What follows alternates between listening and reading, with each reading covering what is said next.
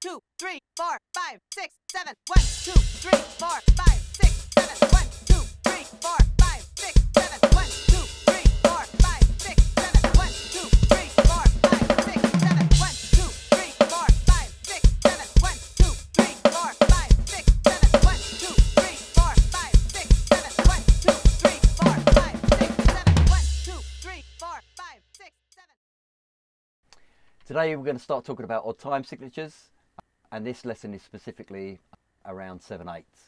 Now 7-8 is the first odd time signature that I got to play in and that's partially because of its relationship kind of at entry level to 4-4. You can interpret 7-8 in numerous different ways. You can interpret it like 6-8 with an extra note but how I initially got into 7-8 was via 4-4 and removing the final eighth note.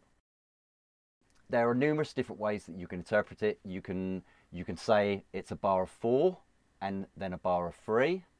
So you'd almost count that one, two, three, four, one, two, three, one, two, three, four, one, two, three. Another way that you can interpret it is three and then four, which you would count one, two, three, one, two, three, four, one, two, three, one, two, three, four. But we'll start off first of all with the one, two, three, four, one, two, three. And essentially I'm going to play a simple-ish pattern. I'll play it first of all in 4-4 and then we'll play it in 7-8 by removing that final eighth note.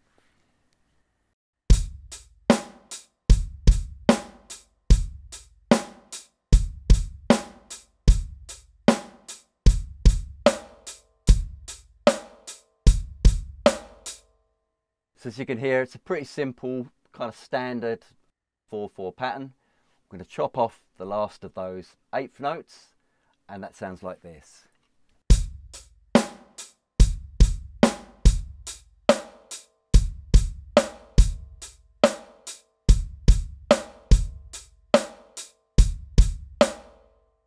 You can, when first kind of getting into this, to ensure that you're counting on, on the one you can accent it with a crash if you prefer at that particular point. So one, two, three, four, one, two, three, one, two, three, four.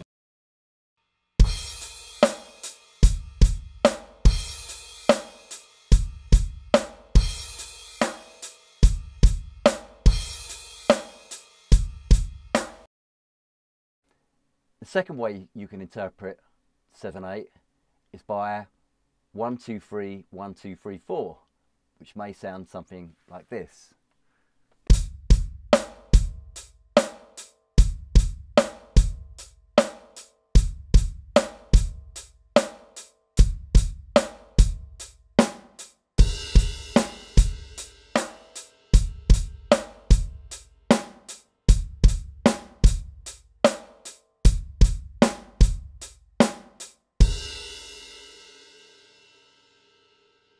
And now we'll play those patterns but with ghost notes included. So essentially I'm playing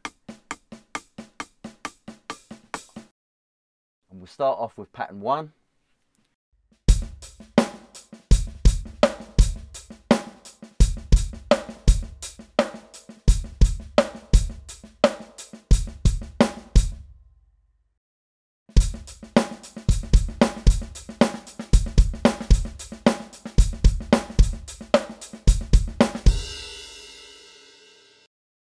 And now the one, two, three, one, two, three, four pattern.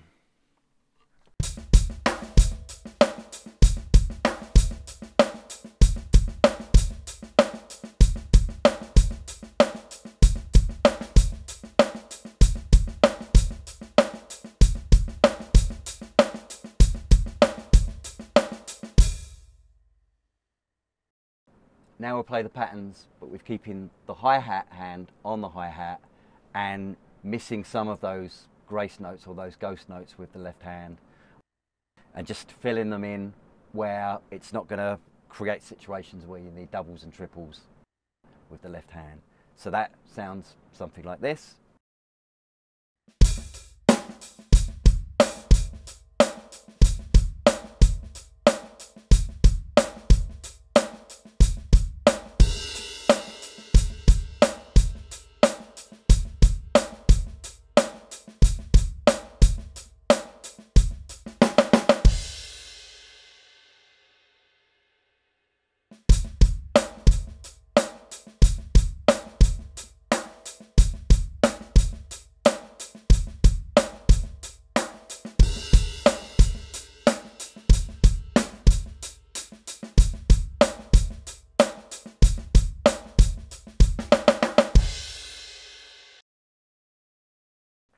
Next up, we'll do something that Gavin Harrison refers to as overriding.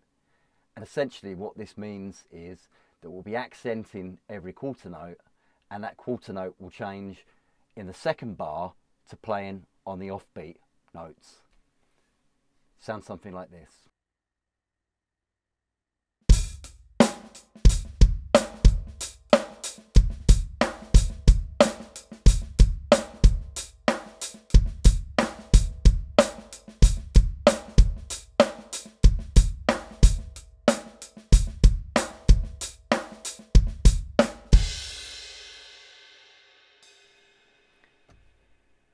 You could use those overriding patterns on numerous surfaces.